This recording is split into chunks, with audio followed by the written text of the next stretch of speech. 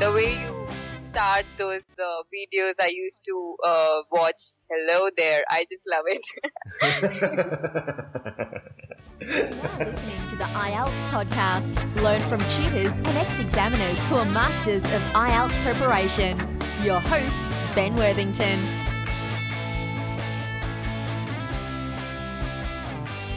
Right then. So, Divya, could you tell me a little bit about yourself, please? Like uh, why you decided to take the IELTS and like what you plan to do uh, now that you've passed it. Okay, yeah.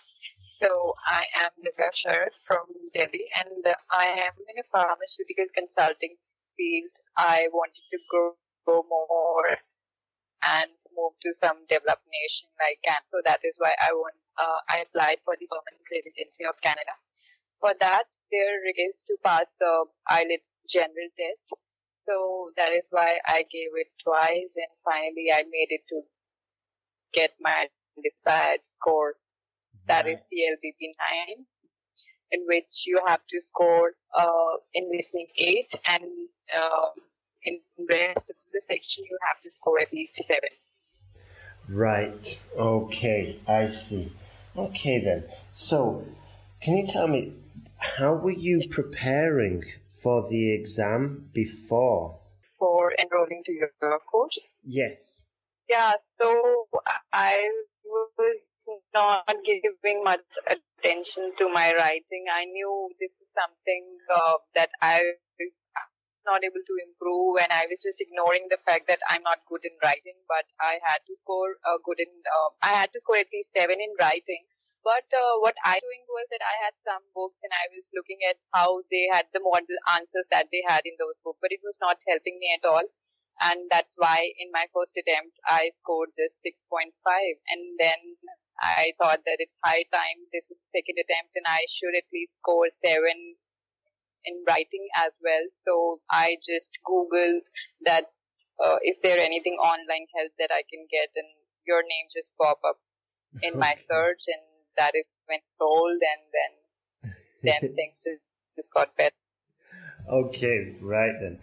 That's good. And can you tell me, um, at what moment did you decide to invest in uh, in the course? Like, what made you decide to purchase in the end? Yeah, so um, first of all, your one test was quite helpful. It it really told me that these are my weakness within the uh, writing section, and I should do it. I remember that lady Gwendolyn. He Mm-hmm. uh, checked my answer and sent me the response in the videos. So so she told me about how I should structure it well. So uh, I really liked that thing that one euro test that you have. And then uh, I thought of purchasing it because uh, it was just uh, 20 days left for my exam, and I was not at all confident that I will be able to score at least 7. And that uh, one euro test result really helped me, and I, I felt confident. And I saw some of the testimonials also on your uh, website. Plus, there was a statement disclaimer that was coming on your website that if you don't score seven, then you will get the refund. So this is something that gave me confidence that yeah, I should go ahead because otherwise I have never enrolled in such online courses, and I was a little skeptical: is it real or is it is it uh, fake kind of thing? So these things like uh, Gwendolyn checking my answers, and uh, then that statement that guaranteed seven and above score you can get. So these things gave me the confidence that yeah, I should go ahead and purchase that course. Right, fantastic. But interesting, yeah. Uh, Gwendolyn, she's um, English American. Uh, she lives in both countries. Yeah. And uh, yeah, I used to do the, the essay corrections, and now now she's doing them. But the one euro essay check, um, I guess you got that because you sent in, um, you were you probably emailed me and said, "Oh, I need help with the writing," and then I think somebody on our team said, "Okay, you can try this one euro correction," and yeah, I think it's a good way because if you like the method of the video correction, then yeah. you know it's going to work well in the future. But if you don't like the video correction, then you don't have to take it to the next step. So okay, so I'm really yeah, that's that's quite helpful. It actually gives me the flavor that this is what exactly I will I should expect from the course that I'll be writing and you will be correcting it and sending me back. So this is, is something that I really wanted. So uh, this gave me the confidence that yeah, this is the method that you are going to follow, and this is the kind of course that I'm enrolling in. So I had those. You set the expectations right that uh, these things are going to happen if you enroll, if you purchase the course, and then you can go ahead if you want it or you know you think that our method is not right. That then you're then it's okay. Then you should not enroll. Mm-hmm. So that one you check is the right thing. I mean, yeah, it's it's it's a such yeah, totally. It's a unique thing, actually. yeah, the and I should say one thing for the listeners that to qualify for the jump to a band seven or it's free, the guarantee, you do have to send in your previous certificate where you got 6.5 in the writing. And there's another requirement that you do all the steps in the process. Because if you don't do all the steps in the process, then I it's going to be much more difficult to get the score. But you did everything perfectly, Divya. You did everything and you completed the assignments, you did the homework, you did yeah. the 16 ideas, you worked through the whole course. And that's another key factor that helps you jump to a band. Was it 7.5 in the end? Yeah. So I would like to, to tell all the listeners that, that are going to listen to this that it's uh, it's not just you give the money and they will have some magic wand and you will get the score it's quite grueling they will give you the score uh, they will give you the questions i mean the test that you have to answer every day and then you have to read other lessons also and then you have to correct whatever mistakes that the uh, uh, you or Gwendolyn are going to check. So it's it's a lot of investment, time investment also. So it's not just money that you give and then it's uh, it will give you guarantee so ultimately it's we who have to do the work and then only we can improve absolutely because i remember that i used to work for like my office hours are really really ridiculous. So we work for like 10 to 12 12 hours. And after that i used to work and work and work. I mean i used to study a lot. So that's how i end up getting this score. If you uh, yeah if you did all the work i forgot about that. As well there's the, all the corrections that you have to do. And you totally right there divya. It's not a case of waving a magic wand. There is work involved. However, if you are super prepared and, and determined, then this can be passed. You know, the IELTS is not impossible. It's just a question of improving and gaining the skills. Yeah. And I think you're, you're a very good example, you know, of doing the work and doing it in a very short period of time as well. Because I think it took you like uh, how long did it take you to do the course? Maybe like 15 days or something like that? 15 days, yeah. 15 days, more or less. Yeah, 15 days. Uh huh.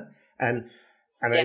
I, I have to say to the listeners, I mean, what usually happens and what should happen is that the student starts the course and then they get some exercises to do. They send in the exercises, they get reviewed, and then they get sent back with the next mm. task. And then the student and, you and then you have to write out the essays, do the tasks, and then send them in for correction. And then you get a reply back and you get the essays back with some more tasks to do and some more essays and the corrections and stuff like that. And it goes on like this. So if you need to pass like in three days, it's not going to happen. Maybe the structure of the essays, which you get with the sentence guide, that's sort of like a system, will help you.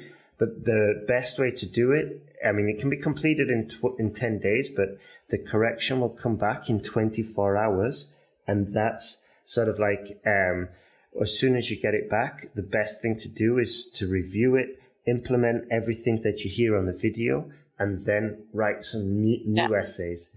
Yeah. So, but well done. That's a fantastic result. Seven point five. Um, how did you feel when you got that seven point five? So yeah, there is a dramatic story around it. So I did not get 7.5 immediately. So uh, when my result came, I got six in my writing, and I was shocked because after my uh, exam, writing was the only section I was confident about, and I was expecting at least 8.5 score in that based mm. on whatever I have learned from your course. So, but then when I saw the six, I thought I have to apply for reevaluation because this is not something that I should expect.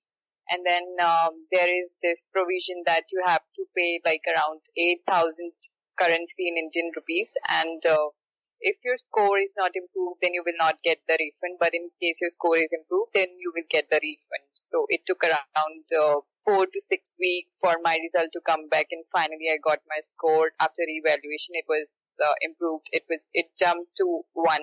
So I got wow. from six, my score jumped to seven. So then finally I got the 7.5 overall band. Wow. That's the second student I've heard doing this, you know? I didn't know that you yeah. did the, you applied for the reevaluation and you applied for the reevaluation because you were convinced that your writing was much better than the score they gave you. Yeah, yes. I told you, like, I was expecting at least 8.5. Mm. Not, not at least, but I was expecting 7, and the max I could get is 8.5. So, and I was very confident. It was the only section I was thinking that that has gone very well. I was so happy that for all the section that I've done, I was happiest for the writing after my exam that finally I did it and I'm confident I'll get the score. And when my result came, I was shocked. No, I thought that I should apply for evaluation. And there are certain forums in on webs, uh, other Google websites that I saw that people say no, it, it's it's very rare. In very rare case, they generally improve score. Otherwise, the score remains the same unless you're very confident to don't apply for evaluation. Such things I heard. And then I, I remember I asked you as well, and you were like, okay, if you're confident, then go ahead and then apply for evaluation and think, uh, I mean, just, uh, that's how I did. I was confident that I'll get the score. I'll get the seven score. Mm-hmm. Yeah, well, exactly the same thing happened with um, with Gabriella. She uh, she's a student of mine, and she put in uh, she'd done the exam lots of times, and then she prepared with me with the sentence guide, and she got all the feedback, and then she did the test, and she got 6.5. And she said, no, no way, because after all the work she'd done, she was convinced, exactly like you, that she had improved and that she'd, um, that she didn't deserve this 6.5. So she applied for reevaluation the guy said it's going to cost $180. It's not cheap, you know? And he said that if you don't get exactly like you just said, if you don't get the reevaluation, you have to pay the fee. You don't get it refunded. But she was absolutely convinced and it paid off. And exactly like you, she got um, the band increase as well. And uh, can I just yeah. ask you, Divya, are you applying for immigration? Yeah, I'm applying for immigration right. to Canada. I see, I see. And yeah. when you put it on your IELTS slip, on the application form, did you say that you're taking IELTS for immigration? Yeah, yeah, they do ask. They have certain section where you have to write that what is it you are applying for and for which country. All right. And now that you've uh, finally passed. Fantastic. Well done. 7.5 overall. That's amazing. and now, what's the next step, Divya? What's What are you going to do next?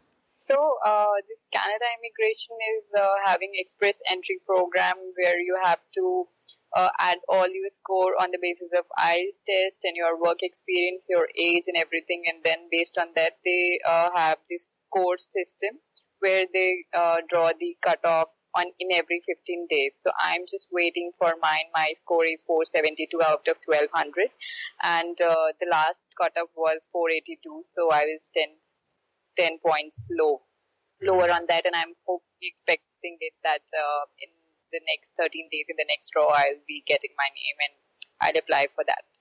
So, uh, in the entire immigration program, this is the only thing that is completely in our hands. So, one should give the best for that. And this is what I did because uh, for Canada immigration, you need CLBP 9 score that gives you the highest score for English proficiency.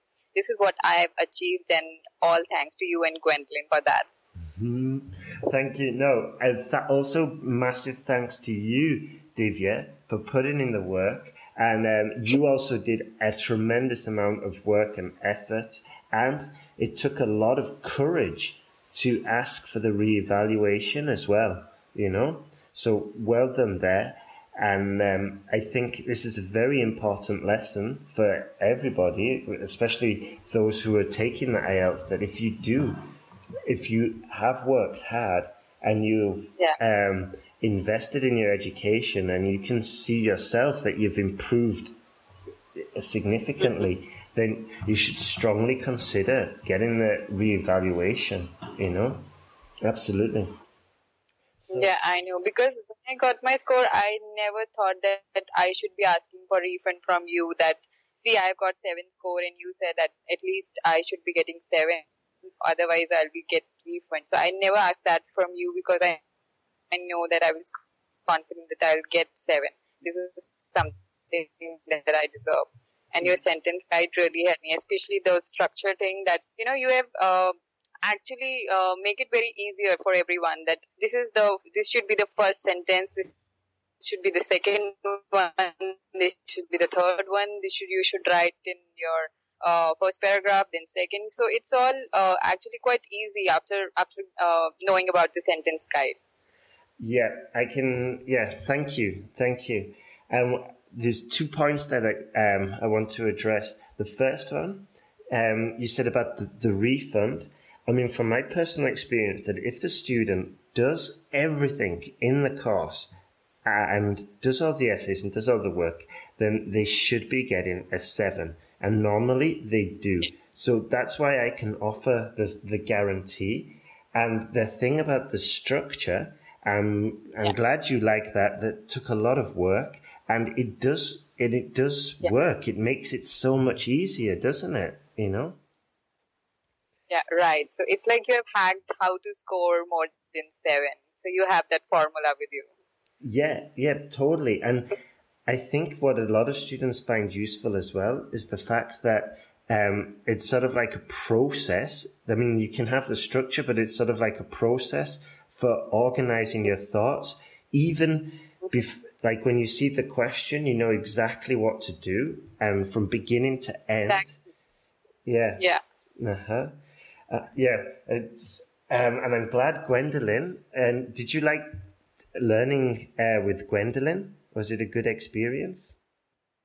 Yeah, it was really good experience. She used to give in detail in each and every sentence. I mean, she used to point out the mistakes, and uh, I knew it was not easy for me to learn um, in a, such a small time. But uh, like she used to point out about the punctuation, the grammar I used to use, but she was always um, very uh, she used to give a constructive feedback that this is something that you are improving on and this is something that you are lacking till now. I've uh, checked previously also you were doing punctuation wrong wrong and still now you are doing it wrong. So this is something she used to tell very bluntly that you have to improve in this area and you have uh, improved in this area so she used to appreciate that also so this is something that i really like about her Yeah, yeah. I think she's a wonderful teacher, and um, yeah, she was the best person I could find. I, I went through about four or five different tutors until I found her, and um, yeah, she's really excelled. So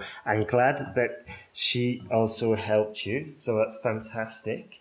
And uh, Divya, Okay. bef- before yeah just pass on my thanks to her okay, yes, don't worry. I'll be telling her about this uh, interview. Don't you worry. Um, one thing, Divya, do you have, uh, just before we finish, um, do you have anything that you would like to share with the students listening? Yeah, I would say that uh, never lose hope. And even if you are doing it, uh, even if this is your uh, multiple attempt, it's not your first time or your multiple attempt, it's always good to be confident and sentence guide will definitely help you to improve. I mean, I can guarantee it because uh, I'm the live example. I have just, just uh, taken this course for 15 days and my score improved from 6.5, that was my in previous attempt, to 7 and uh, trust me i was really bad in writing even in my office emails, I used to get those feedback that I should improve on my written communication, which has now stopped happening. And uh, it has really helped me personally and professionally from your sentence guide. And uh, seriously, after this sentence guide, I think it's not a rocket science, which I used to think. And for all those who are afraid of you know, scoring seven and even imagining that they will score seven in writing should definitely take sentence guide. It will, it will, it will be worth your money and time. Thank you. I can guarantee. Thank you so much for saying that, Divya. That was absolutely fantastic. I really appreciate that. And uh, yeah, it makes me so happy when when the student is just so um, happy and pleased with the whole process. And and of course, saying positive things about the sentence guide is amazing, but it's also amazing that um, it's also fantastic that you've got the result and that you're moving on and you're a step closer to Canada.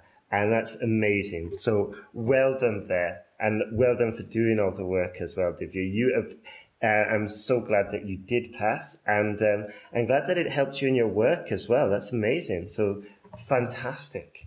Yeah. Okay. Thank you so much. You're also doing a great job helping and motivating students like us because it's really important. And the way you start those uh, videos I used to uh, watch, hello there, I just love it. Thank you so much for that. I never thought about it. That's your signature style, hello there. So that's how I started writing and communicating to any random person th- that I copied your style, hello there. That's great. That's fantastic. Yeah. I mean, my yeah, my writing style between friends is probably similar as well. So that's yeah, copy it, copy it. Um, it's called R and D. Um, in like colloquial English, we say it's R and D. Uh, like R and D formally means uh, research and development. Research and development. Yeah, I yeah, know yeah. that. Yeah, I but know. colloquially, colloquially, it's like rip yeah. and duplicate. You know, it's like rip, rip off, copy, and duplicate, oh. copy. Yeah, so lots of R and D. Uh, duplicate everything. I, I do it with my friends. Sorry. Okay and now I'll tell people about the new full form of R&D because we call it research and development and you, you, you just told me about rip and duplicate. Yes. rip off. yeah, but only do it like uh, with writing styles and stuff like that. we don't want to get into any problems. sure. Okay then. Well, thank you so much Divya. I will have to um, we'll have to finish there. Uh, thank you for agreeing to do the interview, and I wish you all the best in the future.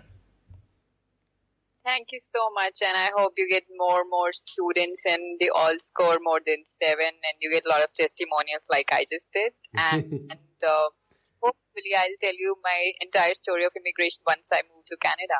I'll definitely keep in touch. Yeah, yeah. Send me an email and um, yeah, definitely keep me informed about that. And uh, yeah, I'd love to see how it all turns out.